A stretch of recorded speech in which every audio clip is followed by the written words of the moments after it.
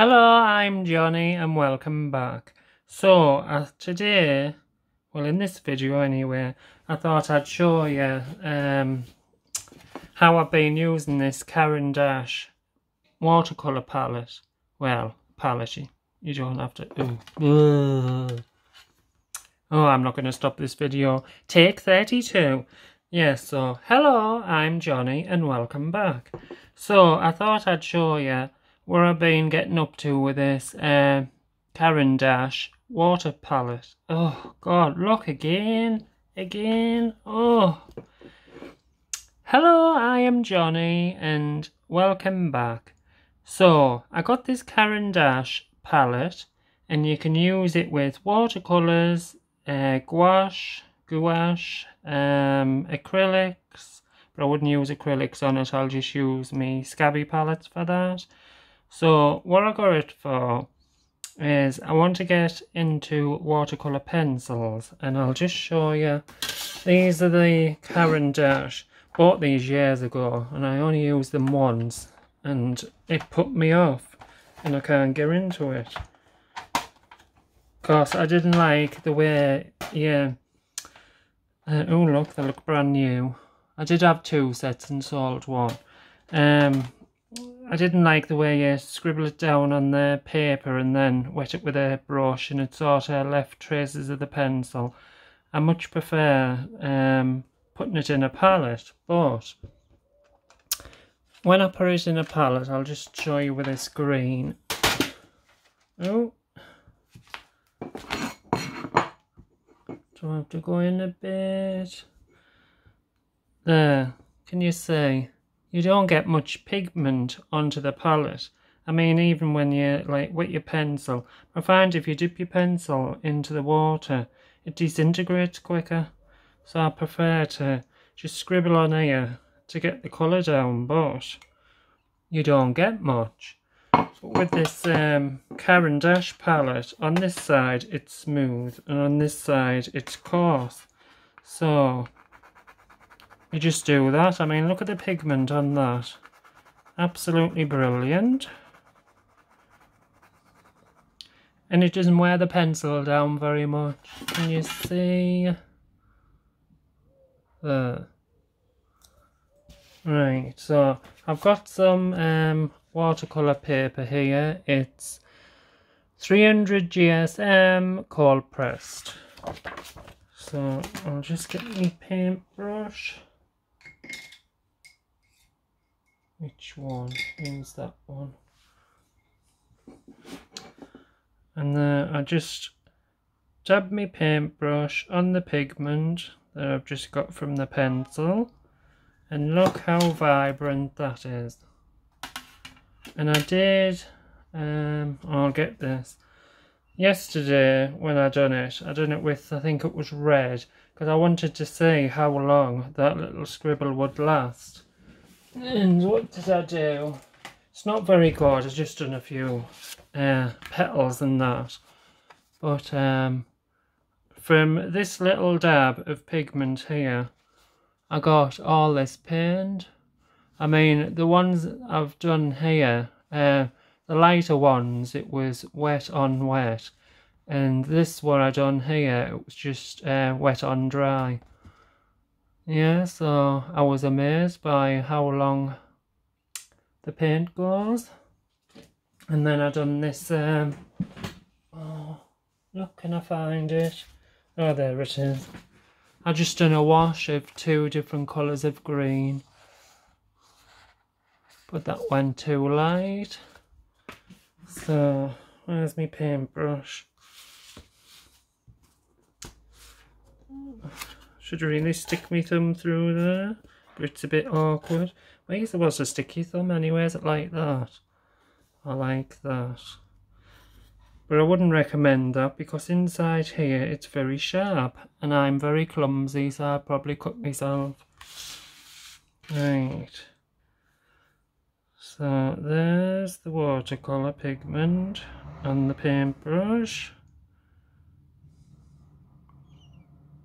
And I've just done a wet on dry there. But I much prefer using watercolours like this.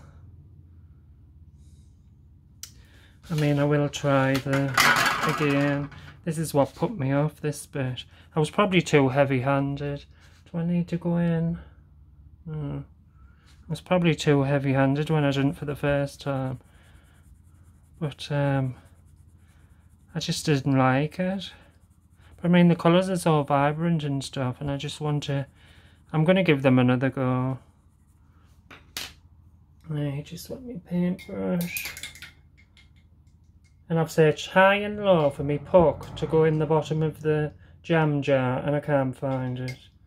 I thought I kept it with me watercolour supplies, but I guess I didn't. Right, so...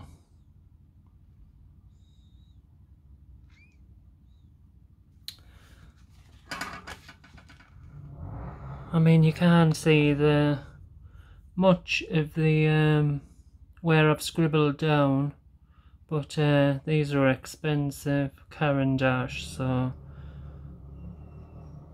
you wouldn't really expect it. You'd expect it to um, disintegrate as soon as you applied the water. But while you're doing that, you're working the brush to dissolve the pencil the colour's getting lighter and lighter, so I much prefer this technique, would you call it that, this way to do it. So, that's with the Caran d'Ache. Now, put away. And I mean, it seems a shame to sell them without actually giving them a, a good go. Now this is the Graphitint. Absolutely love these. So I'll try it out with those. And look, all the... I hope I don't break the um, point. Let's see. If I put it on the... You go direct, you're more liable to break the point. So if I go on the side like that. What colour is this anyway? Cocoa, so it's a brownie colour. It looked a bit purple to me.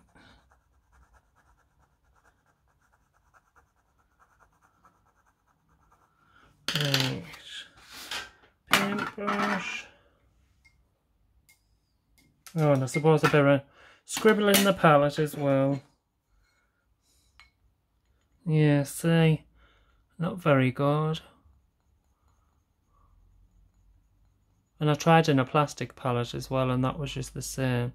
But I'm not willing to wet the pencil and wear it down quicker.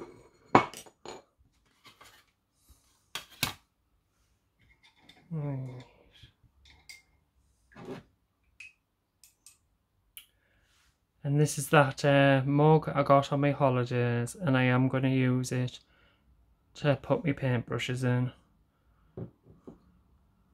Right, wet this.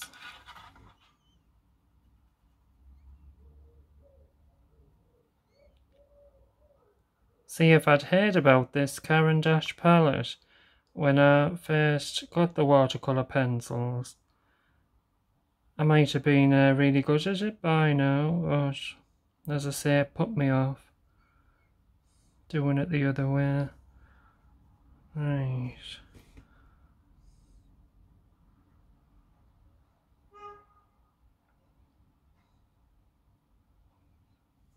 Suppose I better try wet on wet as well.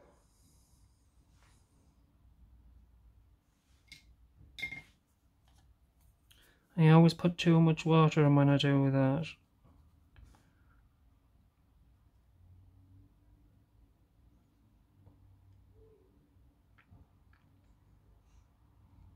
And I mean, there's not uh, much pigment there, but like you just to darken it up and do shades, you just wait till it dries and then apply some more over the top of it.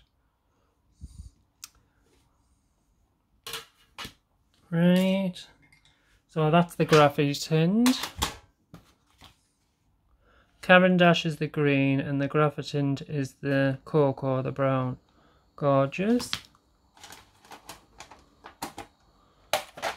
Right, next one, I thought I'd try the Inktense, Derwent Inktense.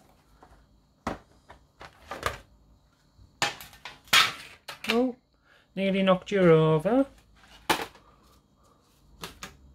Right, what colour should we go for? Red.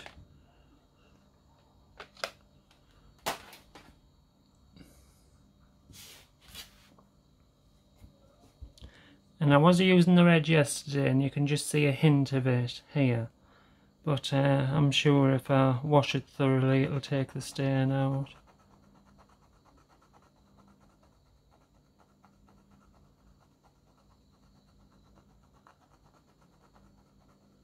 Now look, doesn't wear the pencil down very much. Oh look, I didn't put that away. Over there you go.